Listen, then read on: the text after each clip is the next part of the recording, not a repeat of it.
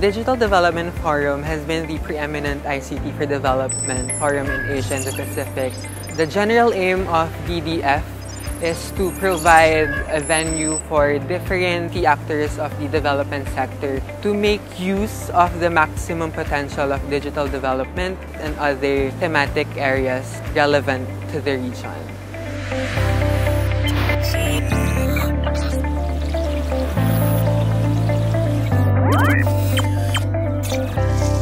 Topics are not about telling somebody what is the technology all about. It's about how could it really make a difference. This becomes an avenue for a lot of people from different backgrounds to spark conversation, to get inspired and learn from experts. So I'm quite pleased that we have something like this as a starting point for conversation.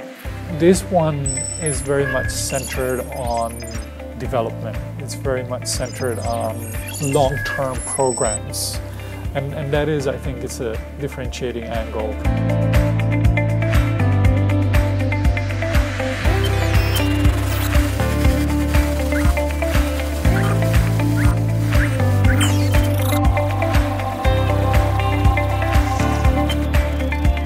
The fourth industrial revolution will have impacts on how we design our economic growth activities. It will also change in many ways the way that we trade and transact across borders.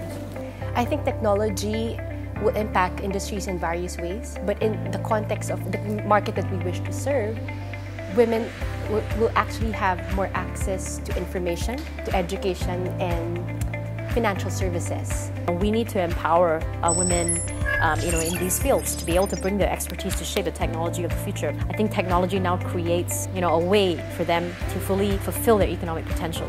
We will be able to integrate because of this fourth industrial revolution subject silos that we have we were not able to integrate before. And teachers will be forced to adapt to problems that has real world implications.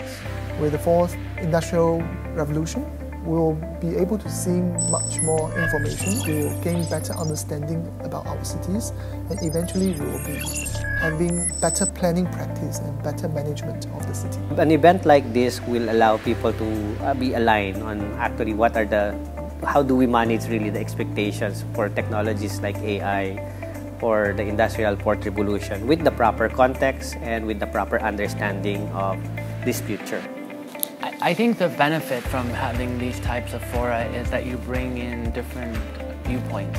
So it's very important when it comes to digital development to have these different stakeholders talking to each other. I think this kind of event uh, creates a lot of opportunities for mutual learning, the exchange of ideas, and also allows different uh, cities to learn from each other, to look at each other's experience and gain from the experience.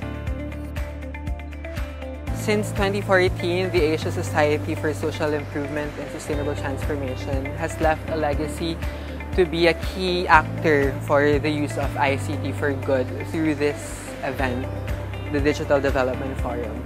And it will continue until the next years.